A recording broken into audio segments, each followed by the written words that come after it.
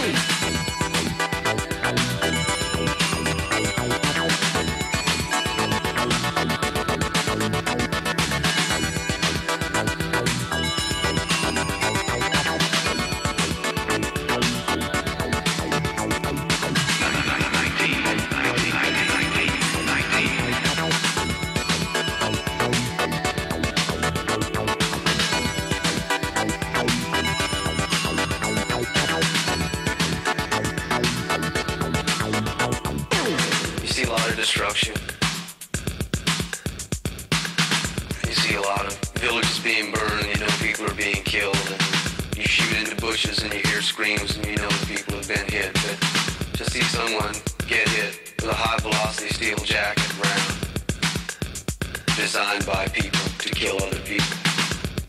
hundreds, no more obscene way to die. Hundreds of thousands of men who saw heavy combat in Vietnam have been arrested since discharge. Their arrest rate is almost twice that of non-veterans of the same age. There are no accurate figures on how many of these men have been incarcerated, but a Veterans Administration study concludes that the greater a vet's exposure to combat, the more likely his chance of being arrested or convicted. This is one legacy of the Vietnam War. War. They had VCs that were 12 feet tall. They captured the 25th Infantry with a bag full of rocks. Everybody went after Ho Chi Minh with broken bayonets. These were the baddest news I ever saw in my life.